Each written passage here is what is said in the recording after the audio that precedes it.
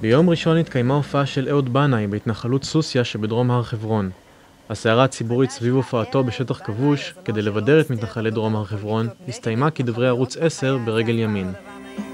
כן, תמר, אפשר לומר שהמופע הזה החל ברגל שמאל, אבל בהחלט ממשיך ברגל ימין. הקהל כאן מאוד מתרגש לראות את אהוד בנאי. הדיווח בשידור חי מסוסיא לא הותיר ספק.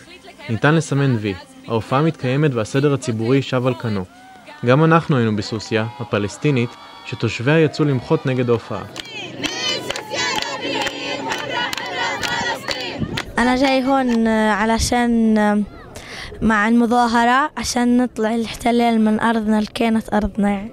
when we hear that there is an Israeli singer coming to sing in a settlement, while Palestinians, even if they are, if they want to go there, they will not be able to go there. Even it is Susia, where they are uprooted from it in 1986. יש כאלה שחושבים שבגלל שהוא כן בסוף הופיע, אז סוסיה הגיעה לכותרות אה, בזכות זה.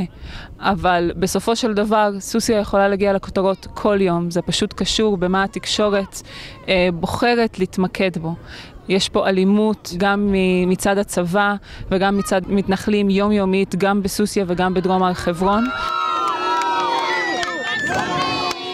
اليوم انا احنا بنظاهر راح نوصل رساله لايهود بناي انه هو بقول بيحكي عن السلام وقربة القلوب فلكن انه مساعدة المستوطنين وانه يجي على احتفال المستوطنين כשאתה מופיע באתר כזה, אתה לא בא לדיאלוג עם מתנחלים, אתה בא לעשות בעיקר האפקט של זה, זה נורמליזציה של אתר אפליה והפרדה.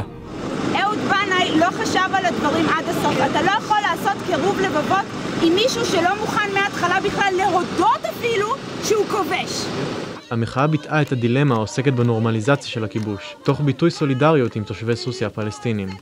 הדילמה הפנים-ישראלית שבין ימין לשמאל טושטשה גם על ידי חדשות 10, שמינפו את ההופעה של בנאי לספר בכלל על מופעי סוכות. מחר עברי לידר יופיע על פסגת מצדה מול הנוף המרהיב.